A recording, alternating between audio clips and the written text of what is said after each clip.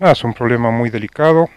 Eh, del año 87 que, que vivimos acá con mi familia. En el fin del 88-89 compramos un terreno en una inmobiliaria de acá de Las Toninas.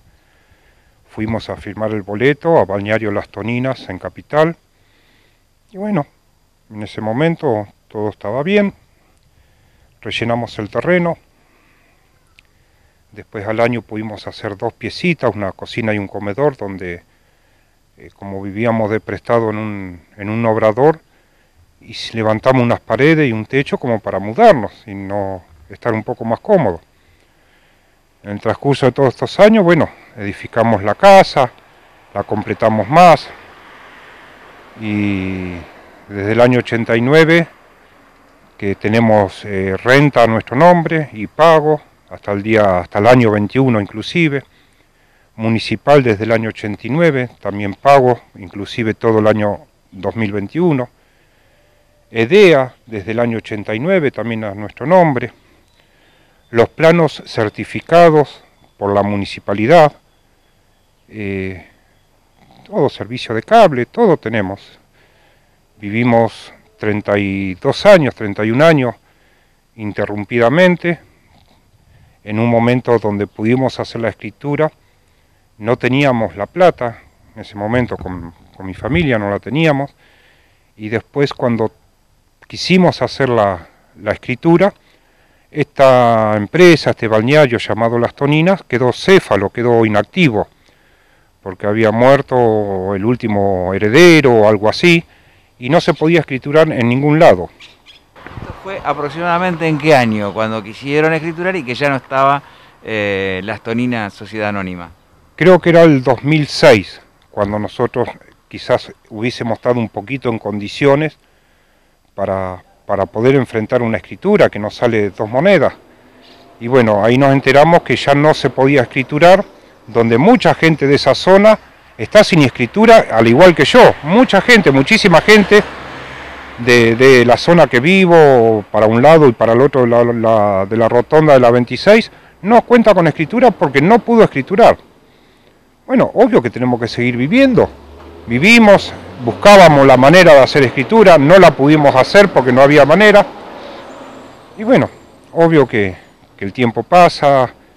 Eh, hace dos años a esta parte, un grupo de tres personas entró acá a Las Toninas vendiendo terrenos y haciéndose eh, como que ellos eran los dueños de Balneario Las Toninas.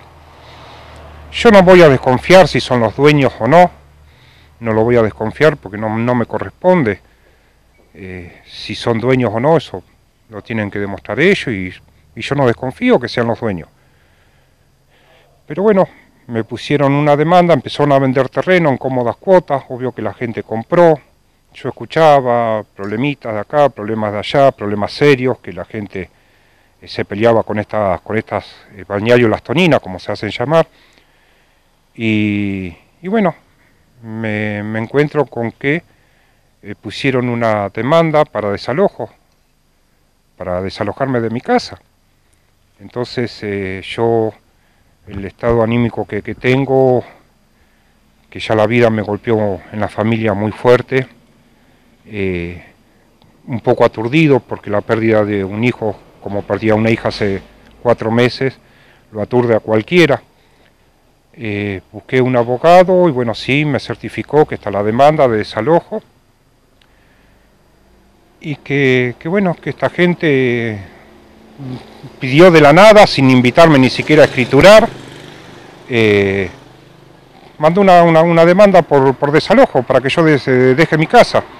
Y yo hace dos días, dos días colgué en mi, en mi muro de Facebook una carta invitándolo al intendente a que por favor bajara porque estoy en un estado de desesperación que, necesito que alguien me ayude, que alguien baje, porque esta gente ya hace dos años que está vendiendo terrenos, no sé si en buen estado, en un buen estado no lo sé, escucho gente que se está acercando, que tiene muchos problemas, como que le compraron a ellos y están viviendo ya en el terreno y fueron a pagar los impuestos municipales y del año 93 y no se lo van a cobrar porque está en, judiciales el terreno.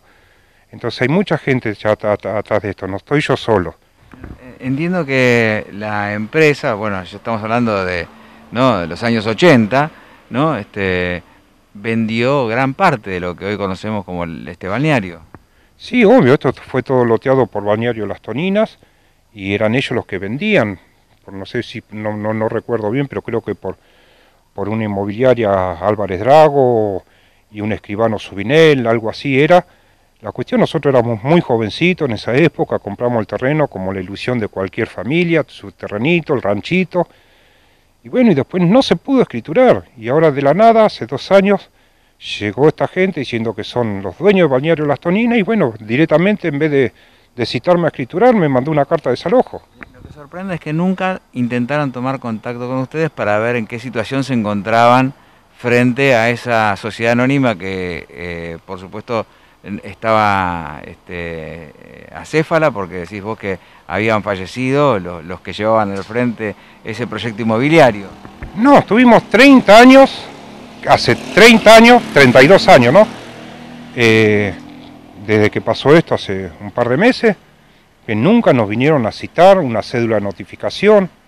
Además, todos pueden comprobar que los impuestos están a nuestro nombre desde el año 89. Y de la nada nos enteramos que, que no tenemos una demanda por desalojo, sin una previa decir tenemos que escriturar, nada. O sea, no sé cómo, cómo se maneja esta empresa. ¿Estas personas se, se apersonaron, te vieron, se presentaron con ustedes? No, no, no, lo, lo, lo descubrió mi abogado por internet. Lo, lo descubrió mi abogado por internet, que me nombra a mí, la demanda a mi hijo y encima la demanda, ellos presentaron una demanda en el mes de febrero. Y acá en el pueblo todos saben que mi hija ya había muerto en enero. Y no les importó nada y les mandó una demanda también a mi hija.